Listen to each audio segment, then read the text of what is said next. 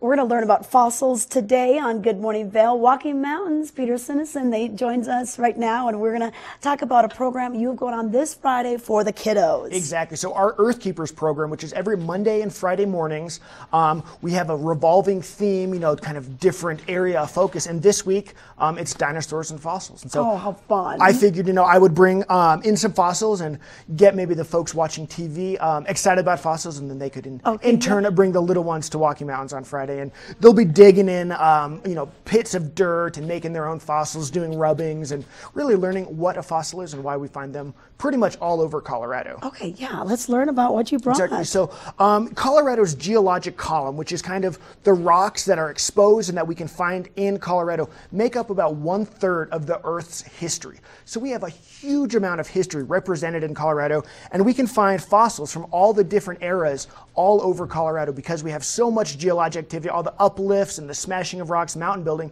really exposes them. So, we can find fossils all over the place. Okay, now this one looks like a shell. Tell us about this. Exactly. So a couple, you know, um, Colorado's history, it's been a warm, shallow ocean many times. It wasn't always these mountain peaks. So there were shallow oceans um, throughout its history, and we found, we find um, shells, you know, different types of, we call them brachiopods. And they're related to our bivalves, you know, our mussels, our clams Yep, that we looks like a clam that we have today. And these are good um, examples of a mineralization fossil where you can see the shell is still there, but the insides have been filled in with a mineral. Um, a stone, where then that precipitates out, and we're left with that stone holding the shape of the shell. Okay, wow. So neat to think about how old this is. And then what else did you bring? And then I also brought in some. This is a. Hopefully, we can get a good shot of that. This is actually an aquatic plant. Um, a crinoid, and you can see these. Hopefully, you can get a shot of these kind of leafy fronds. These would be held to the uh, seafloor by a stem, similar to what we're seeing here. That would be holding it to the bottom of the ocean floor, and then these fronds are going to be similar to kelp or seaweed, kind of waving, waving in the um, okay, and then this is waving the in the sea. Yep.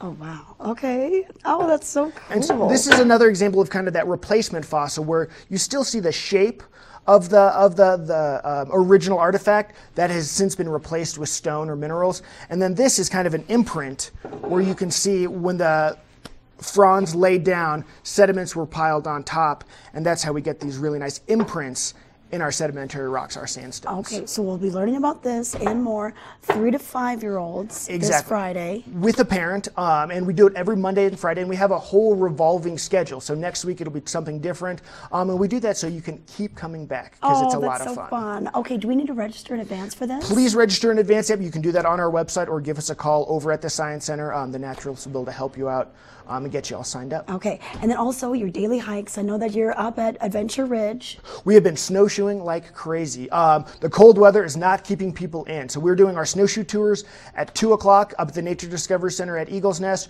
We're running them at 2 o'clock at our Science Center here in Avon. And then on Thursday, we get into the back country um, and we take private group, or we take public groups out.